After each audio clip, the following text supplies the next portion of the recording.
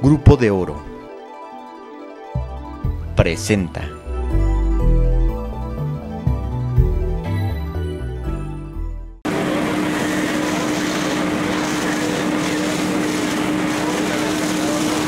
Una bodega de dulces en el mercado de Abasto fue consumida por un voraz incendio.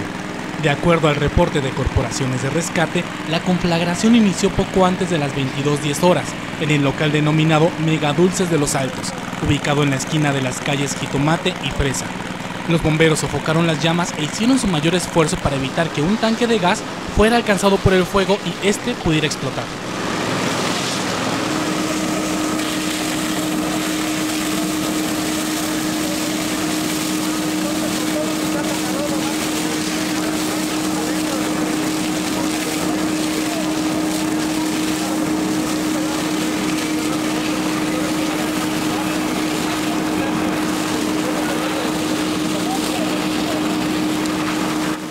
Agencia Cuadratín.